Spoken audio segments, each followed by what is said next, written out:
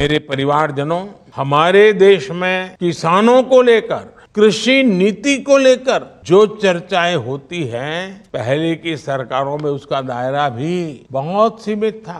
दोस्तों हमारे देश के प्रधानमंत्री जी संसद में खड़े होकर किसानों की बात करते हैं। इस देश के किसानों के साथ क्या बीती है? ऊपर के कुछ एक वर्ग को संभाल लेना और उन्हीं से अपनी राजनीति चलाए रखना। 80 पचासी प्रतिशत इस देश का ये वर्ग है। इन छोटे किसान उपेक्षित थे। उनकी आवाज़ कोई सुनने वाला नहीं था। रैलियों में, सभाओं में कहते फिरते हैं कि मेरे लिए इस देश का किसान ही सबसे बड़ी जाति है। मैं उनके लिए काम करता हूँ। अब समझ आ रहा है कि कितना काम करते हैं। आज हालत ये बना दी गई कि अपनी मांग रखने के लिए अगर किसान आना चाहे तो उन्हें आने नहीं दिया जाएगा। कांटे बिछा दिए जाएँगे। सड़क पर कीले बिछा दी गई है। बड़े बड़े सीमेंट के बैरिकेड लगा दिए गए हैं। नॉर्थ ईस्ट दिल्ली में 11 फरवरी से धारा 144 लागू कर दी गई है। और इतनी तैयारी किसके लिए की गई? हमारे अन्नदाता, देश के किसानों को रोकने के लिए क्या गजब हाल है मोदी सरकार का? एक तरफ़ चौधरी चरण सिंह को भारत रत्न देने का ऐलान किया और अब दूसरी तरफ़ किसान आंदोलन को रोकने के लिए कीले गाड़ दी गई।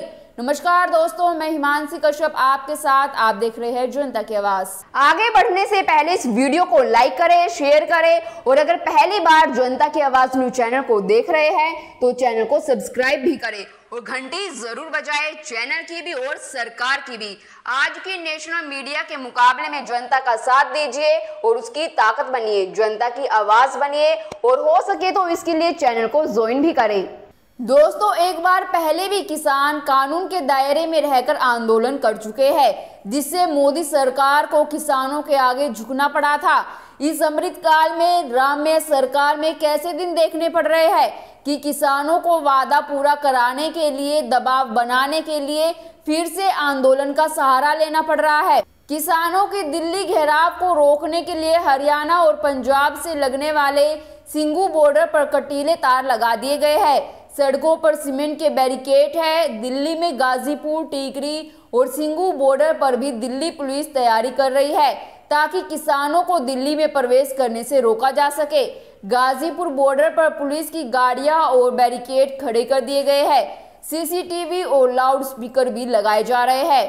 पुलिस प्रशासन को डर है कि कहीं पश्चिम उत्तर प्रदेश के दूसरे संगठन भी इसमें शामिल ना हो जाए। अगर ऐसा होता है तो संभव है कि दिल्ली मेरठ राजमार्ग भी बाधित हो सकता है। किसान आंदोलन को देखते हुए दिल्ली की कई सीमाओं पर यातायात प्रभावित रहेगा। नॉर्थ ईस्ट दिल्ली के साथ ही सादरा जिला के फर्श बाज़ार, गांधीनगर, विवेक विहार, सीमापुरी जैसे इलाकों में धारा 144 लागू होगी। अमृतसर व्यास में किसानों का बड़ा जत्था दिल्ली कूच करने के लिए तैयार है। बड़ी संख्या में किसानों के ट्रैक्टर कतार में खड़े हैं। वाटर कैनन और वज्र वाहनों को तैनात किया गया है। वाहनों की आवाजाही में बाधा डालने के लिए घग्गर नदी के तल की खुदाई की गई है।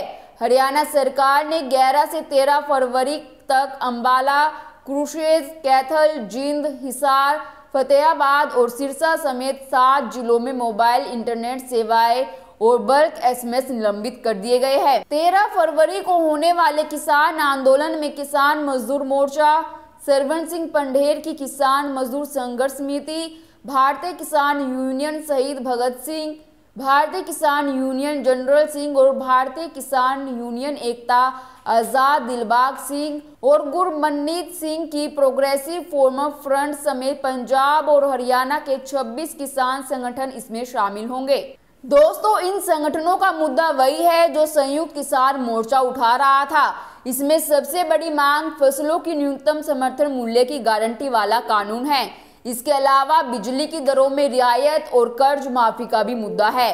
ऑल इंडिया किसान सभा के उपाध्यक्ष आनंद मोहल्ला ने बताया कि संयुक्त किसान मोर्चा के कुछ स्प्लिंटर संगठन जो अलग हो गए थे, यह उनका आंदोलन है। ऑल इंडिया किसान सभा ने भी किसानों के आंदोलन से फ़िलहाल दूरी बनाई हुई है, जबकि संयुक्त किसान मोर्चा के बैनर तले 16 फरवरी को राष्ट्रव्यापी भारत बंद का आह्वान किया गया है, जिसमें तमाम किसान और मजदूर पूरे दिन हड़ताल और काम बंद करेंगे।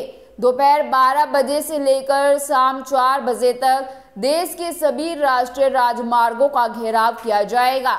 और हाईवे बंद किए जाएँगे। ऑल इंडिया किसान सभा का कहना है कि सरकार ने स्वामीनाथन को भारत रत्न दे दिया, लेकिन उनकी सिफारिश नहीं मानी गई। प्रशासन किसी भी तरह की कोताही नहीं बरतना चाहता।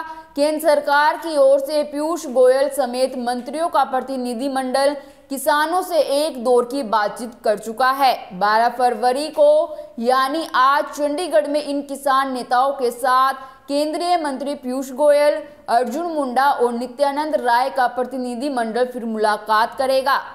चुनावी साल में सरकार किसी तरह का रिस्क नहीं लेना चाहती और इसलिए हर संभव किसानों को मारने की मशक्कत चल रही है। केंद्रीय खुफिया एजेंसी के एक अधिकारी के हवाले से एजेंसी ने बताया कि किसान भी बैरिकेड हटाने के लिए तैयारी कर रहे हैं। ट्रैक्टरों में हाइड्रोलिक उपकरण लगाए गए हैं। आँसू गैस के गोले से लड़ने के लिए आग प्रतिरोधी हार्ड शेल ट्रेलर तैयार किए जा रहे हैं। उन्होंने इन संशोधित वाहनों के साथ अभ्यास भी किया है।